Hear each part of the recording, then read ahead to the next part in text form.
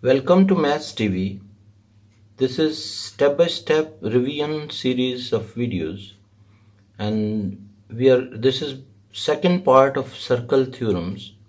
In first video part 1 we have gone through circles terms and rule 1, rule 2 and rule 3.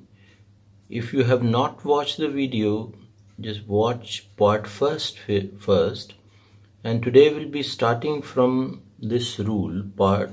This is uh, rule 4 the diameter bisector a chord bisects a chord at right angle.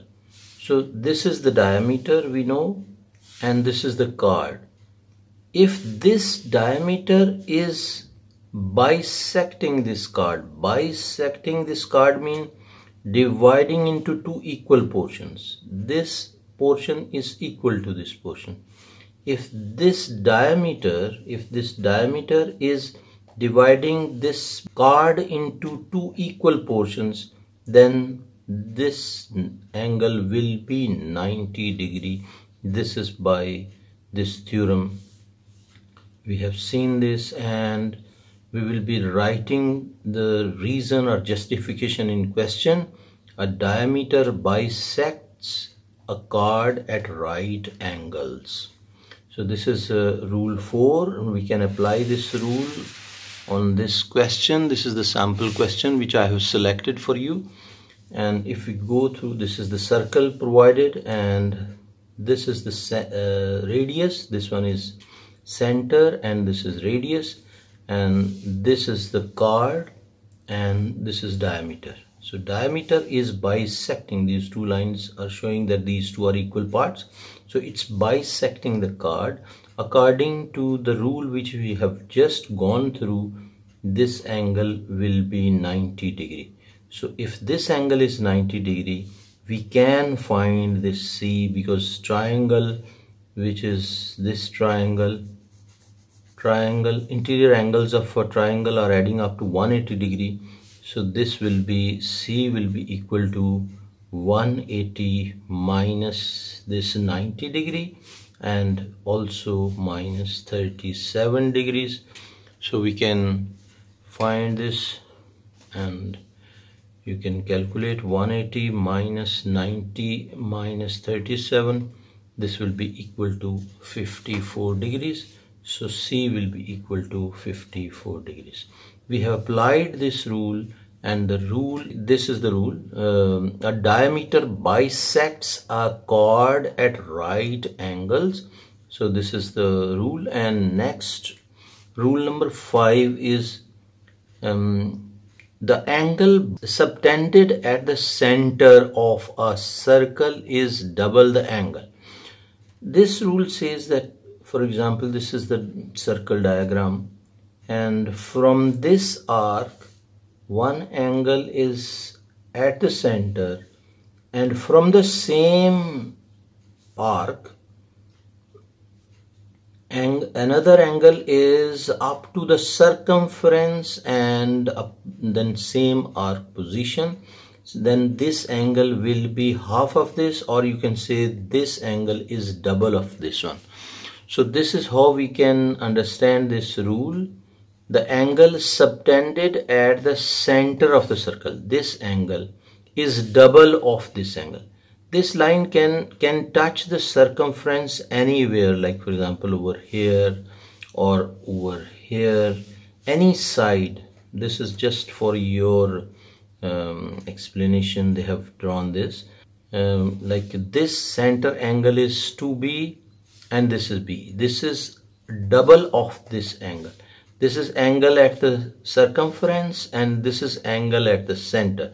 So this angle will be double of this angle. To practice this rule we can go through this sample question which we have selected.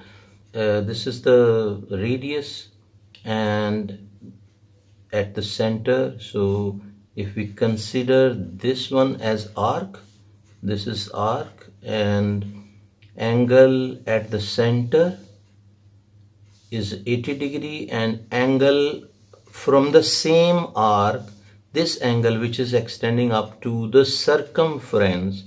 This is f we have to find this. And we know that this is double of this or you can say this f is half of this. So half of 80 will be 40 so this angle f is 40 degrees so we can write f is equal to 80 by 2 which is equal to 40 degrees.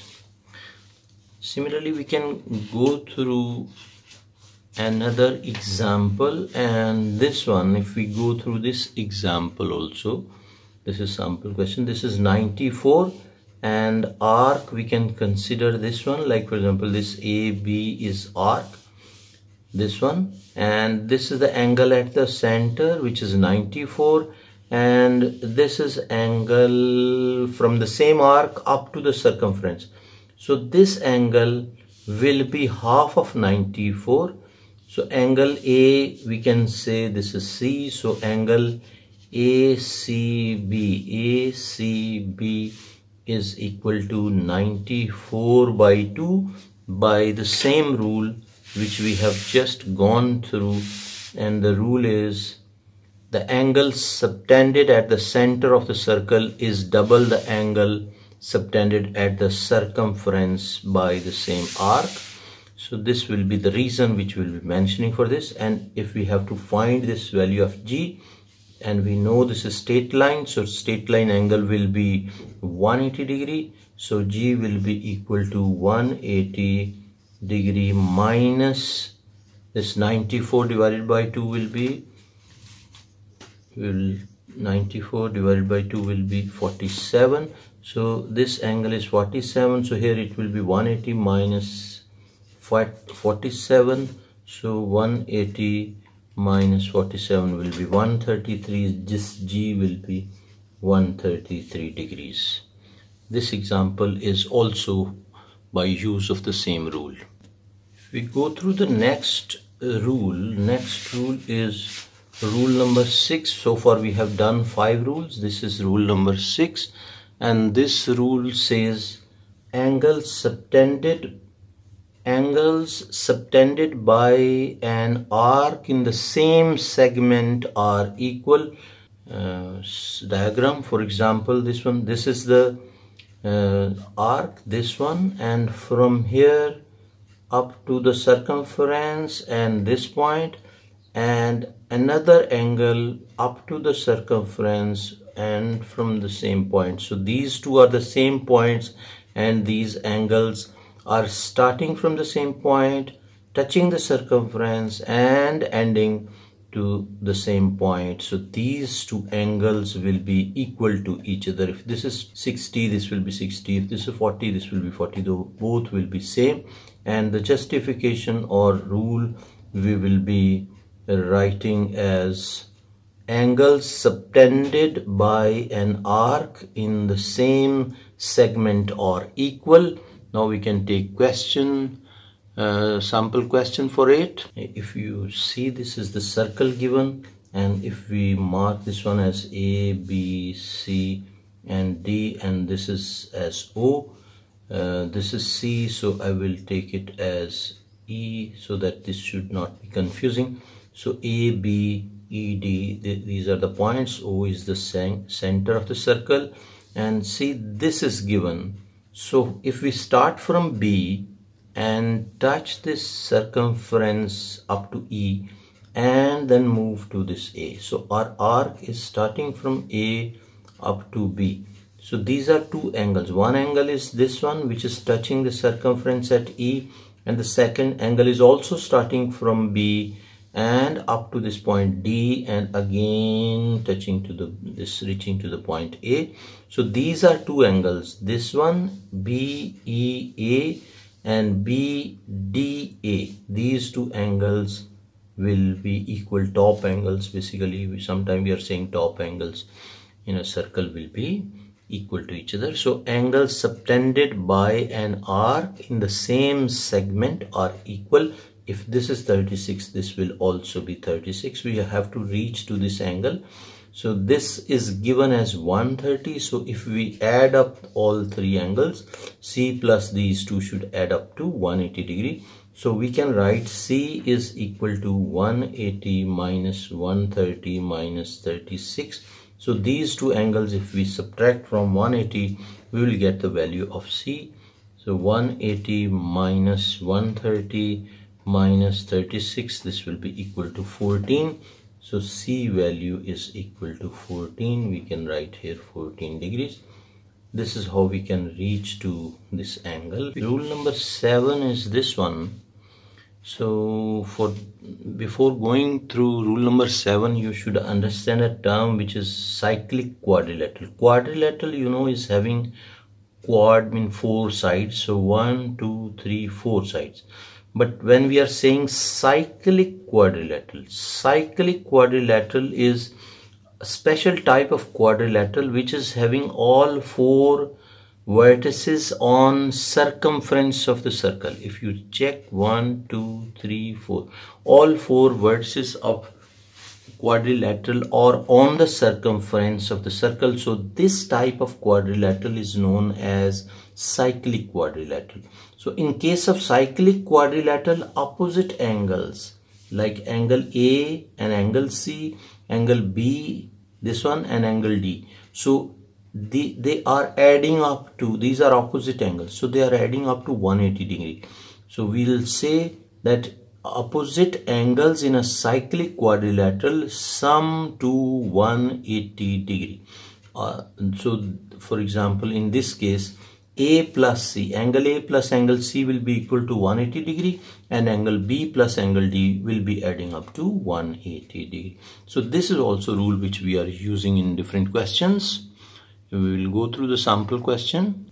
Okay, this is the sample question and if you see this is like A, B, uh, C and D, this one C, D, E, we can take this one as E and this one as F. So this one if I'll shade the upper portion of the diagram so this is one cyclic quadrilateral. A B C D is a cyclic quadrilateral which is having all four vertices at uh, the circumference. So this one like this. So opposite angles like opposite angle of C is 108 this angle is C plus 108 so this will be 180 minus 108 will be equal to 72 so this angle will be 72 degrees. And this plus this should add up to 180 degrees. So these two are opposite angles. So we can write 180 minus 79 180 minus 79 is equal to 101 so this angle will be equal to 101 degrees so this is how we have applied on this one. On lower if we see this one this is also cyclic quadrilateral because all four vertices are on the circumference of this circle. So this angle should add up to this one and it should be 180 degree. So a plus 121 should be 180 degree. So uh, 180 minus 121 will be equal to 59 so this a angle is basically 59 degrees by the same rule. This is basically the rule. Opposite angles in a cyclic quadrilateral sum up to 180 degree. Today we have gone through mm, these rules. Rule number four which is diameter a diameter bisects a chord at right angles. The next one was the angle subtended at the center of circle is double the angle subtended at the circumference by the same arc. And we have gone through this rule number six which is angle subtended by an arc in the same segment are equal. And this one seventh rule opposite angles in a cyclic quadrilateral sum up, sum up to 180 degree. Hopefully you understood everything there are still remaining uh, more rules which we will be going through and then we'll be going through different uh, other segments also for circle theorem. So this is the end of part second. You will you can go through part 3 for the rest of the rules also. And part 1 we have covered uh, rule number 1 2 3 and circle definitions. Hope you were understanding this each and everything. I'll be waiting for your comments. Thank you very much for watching and don't forget to subscribe like this also. Take care. Bye